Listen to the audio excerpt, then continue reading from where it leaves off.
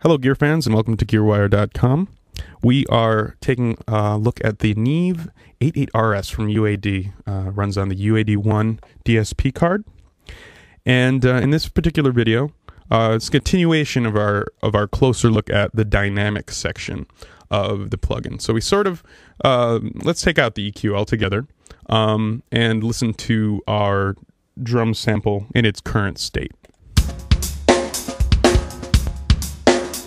We're looking at the ratio. Everyone knows, or probably does know, that I like to be conservative.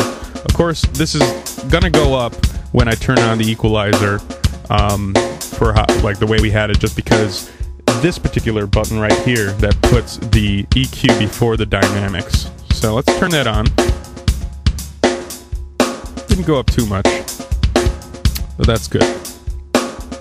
So let's take a listen at what this EQ can do.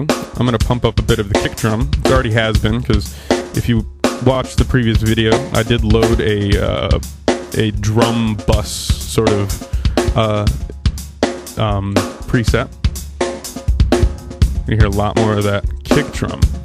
Now, also what we're getting is a bit of mud, so I'm going to turn up the filter a bit.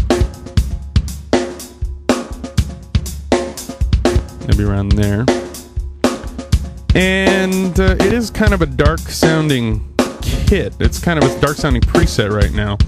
So I'm gonna go, I don't know, over 300 hertz, raise our Q a little bit, and start taking some of that out. And uh, let's see. Let's make that snare sizzle a little bit. Let's find that frequency.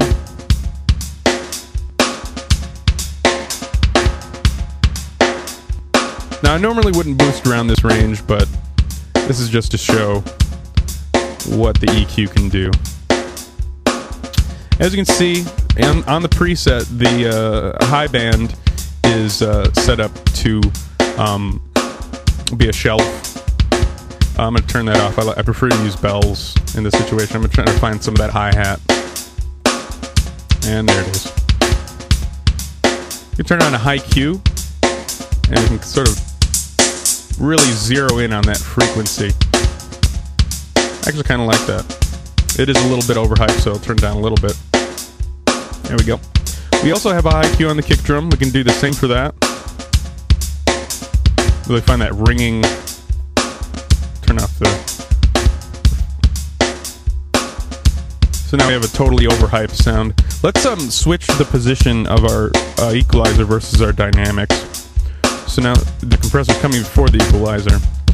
This is actually I sometimes prefer this way when, when working with drums, although most presets you find out there will put the equalizer before the drum be, before the uh, uh, compressor, just because I don't know, that's just a classic way to do it.